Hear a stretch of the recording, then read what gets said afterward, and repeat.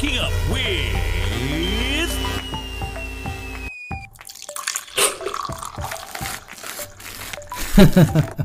Shivraj Parshad, your host on Good Morning Grammar.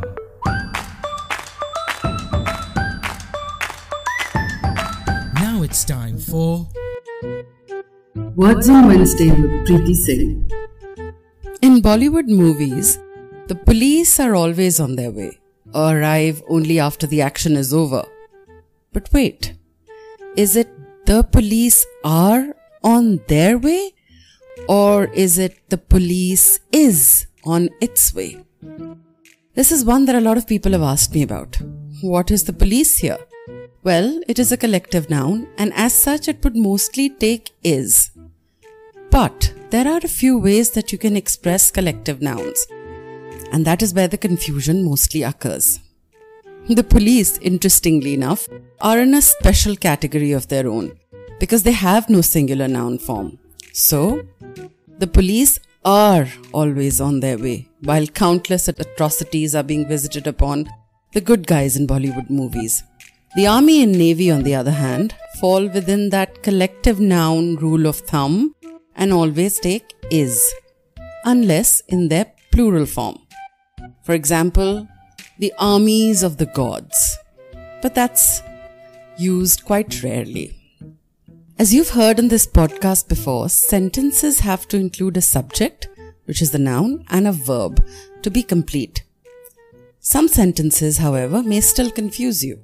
So, when deciding whether to use is or are, it is important to pay attention to the subject and not the verb, which will decide what we use. Whether we use is, are, hers, his, its, their, etc. Depending on whether it is a single, plural, or collective noun. Take these following sentences for comparison. The groceries are still in the car.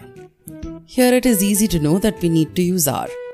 But if we were to say the bag of groceries is still in the car, then the bag of groceries becomes the subject of the sentence, and though it refers to a collective, it is after all a single bag.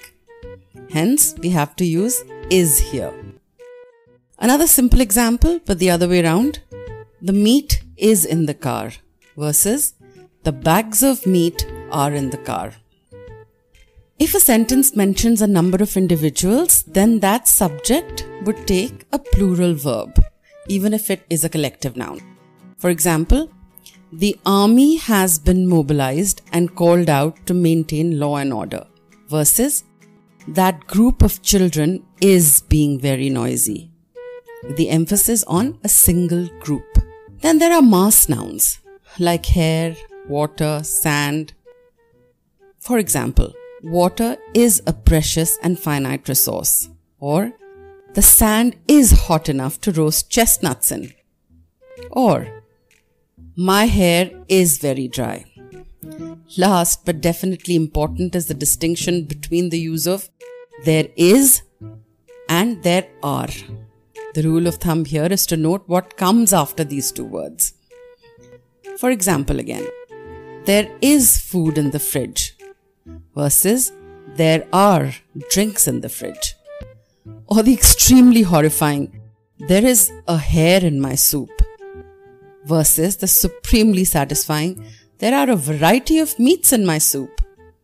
To wrap up, there are too many examples in this podcast versus there is only one podcast that cares enough about your daily dose of good grammar. Until next week, then, have a good one. It's easy to connect with me on Twitter or Instagram. My handle is the same on both. Truth About Nobody. That's T R U T H A B T N O B O D Y. I also have a podcast called the Good Comms Podcast with Preeti Singh, in which I share bite sized nuggets to help you improve your verbal and non verbal communication skills. I'd love to connect with you on LinkedIn as well. Till then, see you next Wednesday for a word with me on Good Morning Grammar. I hope what you heard was useful, but we'd love to hear from you as well. You too can feature on any episode by sending in your request or feedback. with a voice message on WhatsApp on plus 91 962 547 5442 or via email at shivraj at brevis.in. We'd be happy to read out your message here or even play it on an entire Friday special episode. Have a good day and stay tuned for another fresh episode of Good Morning Grammar.